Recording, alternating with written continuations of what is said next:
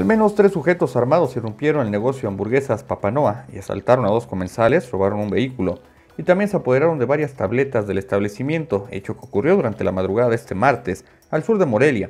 De acuerdo con las autoridades, dicho negocio se localiza en la avenida Camelinas, a la altura de la colonia Nueva Jacaranda.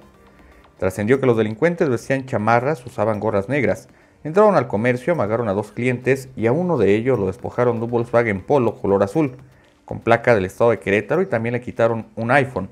Se supo que al otro perjudicado lo despojaron de dinero en efectivo, tarjetas de crédito y un teléfono celular. Luego los zampones les robaron equipo de trabajo a los empleados. Después de obtener el botín, los perpetradores huyeron en el Volkswagen Polo con rumbo incierto. La situación fue alertada a la policía, cuyos elementos acudieron al sitio para obtener datos del caso y le recomendaron a los afectados presentar la denuncia respectiva ante un agente del Ministerio Público.